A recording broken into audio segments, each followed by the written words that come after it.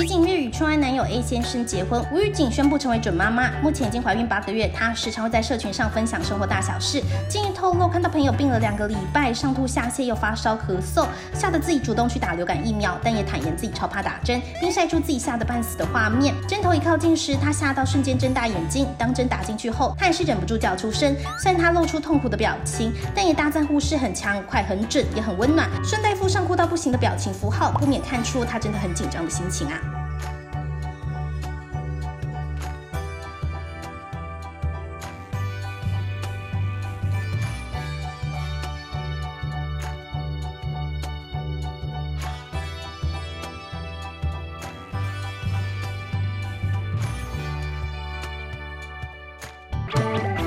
Bye.